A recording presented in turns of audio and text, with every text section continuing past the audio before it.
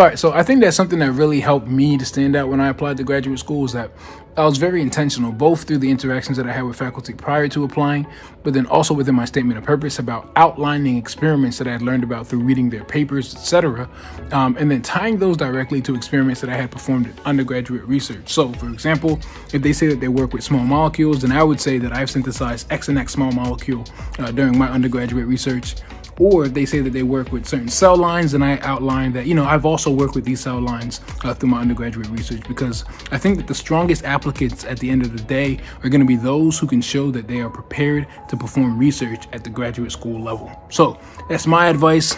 Let's go ahead and hear about what everyone else has to say. All right, let's check it out. So the question that my good friend Tyson asked me was, what do I think really made my graduate school application stand out? And I think it really had to do with the recommendation letter that I was written by my undergraduate research advisor. I spent four years in her group, all four years at undergrad, and we ended up forming a very good relationship. And I think it was really through her support that my application stood out. So much appreciation to uh, Professor Kaufman at Columbia University. When I was applying for graduate school, I think what really stood out about my application was my overall well-roundedness. In my application and in my personal statement, I was able to talk about my love for science, and of course, this was backed up by my grades as well as my involvement in research opportunities on and off campus. But in addition to that, I talked about other things that I did. Um, for example, I was the president of the Black Student Union as an undergrad. I also participated in a number of mentorship and volunteer opportunities.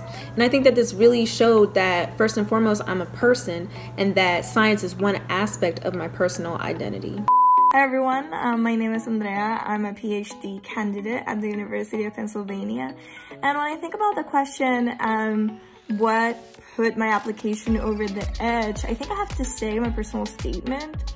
So I tried my best to convey the passion I had for science and my honest interest in pursuing a career in science. Um, so yeah, personal statement. But into it, Oh my God.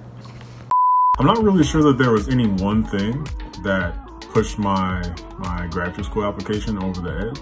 I think overall, I had a really strong package. Together, the, app, the application package as a holistic thing is important.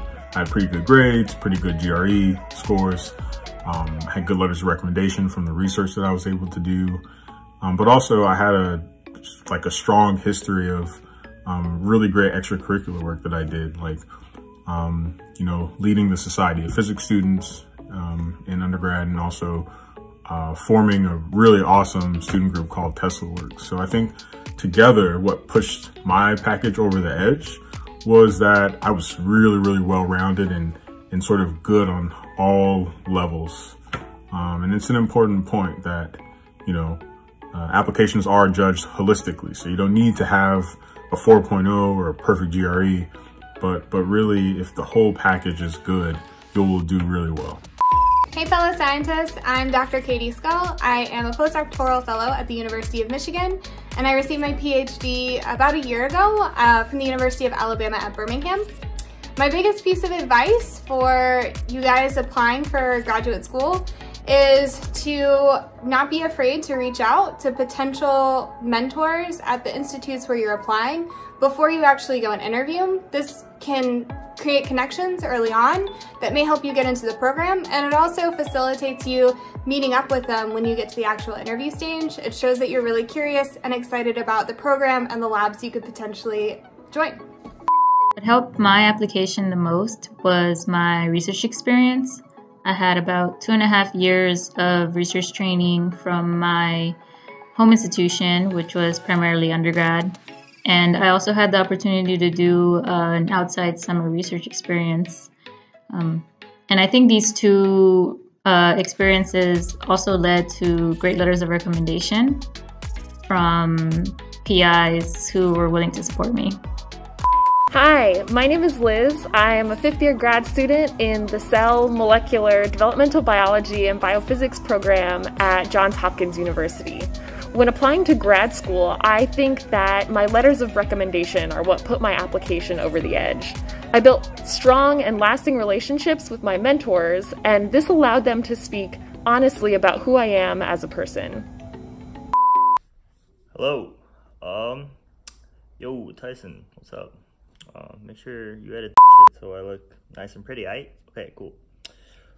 Uh, with respect to what put my graduate school application over the edge, I would have to say it's a combination of my letters of recommendation and my GPA. I can tell you for sure that it was not my GRE scores that helped me get to where I am now. As someone who went to a small liberal arts college where I really got to know my professors, I think that helped a lot um, with getting my rec letters strong. So, my best advice to all of you who are applying now is really get to know the people who are going to be writing your rec letters. It definitely makes a difference.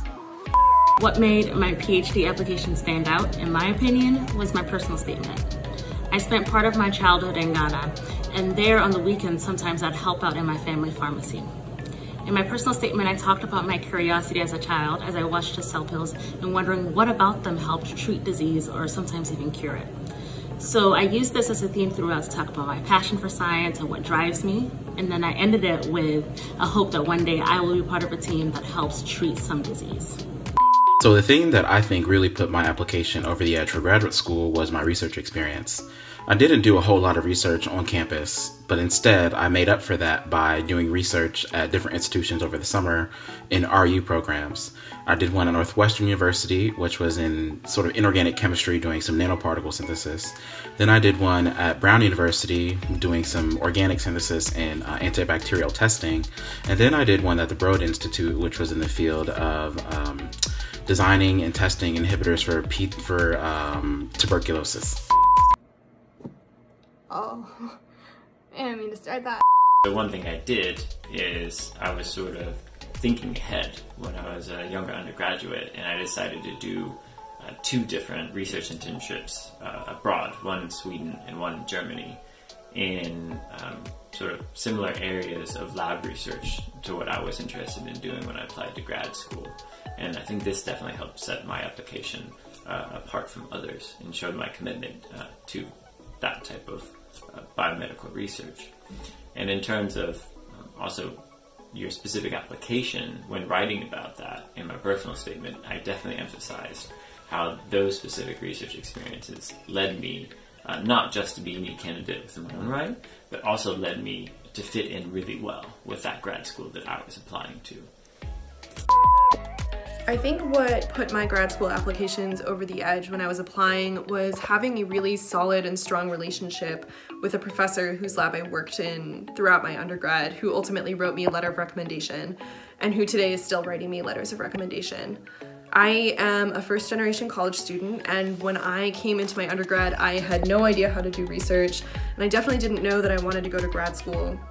And so I think having a mentor who really helped me grow and watched me learn how to ask better questions and become a better scientist over the years was really instrumental in me getting to grad school.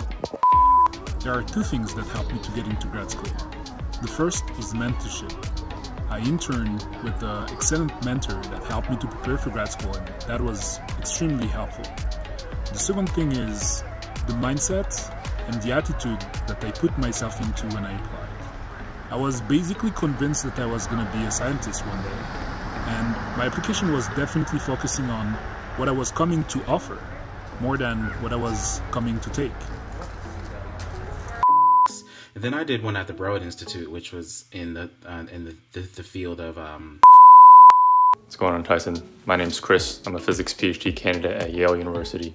And in hindsight, I would say that one of the things that helped me out the most when applying to grad school was having a diverse research experience.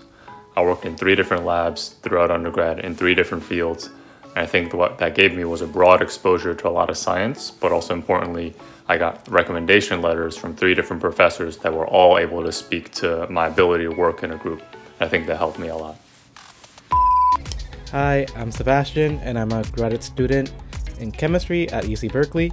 I would say that the things that helped my application stand out were having research, teaching, as well as outreach experience, um, having rec letters from professors that knew me beyond the superficial level, and having a clear personal statement where I talked about what my goals were and how grad school would help me achieve those goals. Do We would do it with the reindeer or without the reindeer? Your choice. I, I like the reindeer. I think the reindeer is not distracting at all, and they'll No, totally not. they'll definitely remember my advice now with the reindeer. I can tell you that. Okay, we'll do it with